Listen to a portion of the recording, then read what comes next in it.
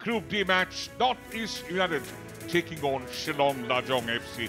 And we are live and exclusive from the Indira Gandhi Athletic Stadium in Guwahati. Just starting to stretch this Shillong defence now. Chara running at Ronnie. Gets the shot in, pushed away. Simple finish.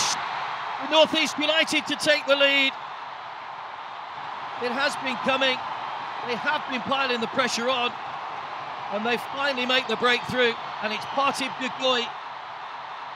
Bengaluru, here he comes to put his side into a 2 0 lead. Goalkeeper gets the right way, but it's far too good into the bottom corner. Philippoteaux makes it 2 0 to North East United. Very confident there. Couldn't get the pace on the shot with the goal gaping in front of him. Pressure still on though.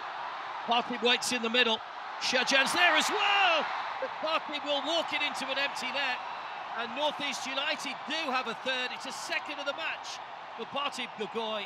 And having been denied just a moment or so ago, they have got the goal. And surely now, three points are heading Northeast United's way. They lead Shillong Lajong by three goals to nil. Philippa two. Another of those trademark balls through the defence. Whitting's ball across. And they've opened up Shillong Lajong once again. The smile on the coach's face says it all. Philippoteaux instrumental. And Parthib Gogoi gets a first senior hat trick. And you can see what it means to the youngster. A wry smile from Nithavell, who knows his side have been carved open once again.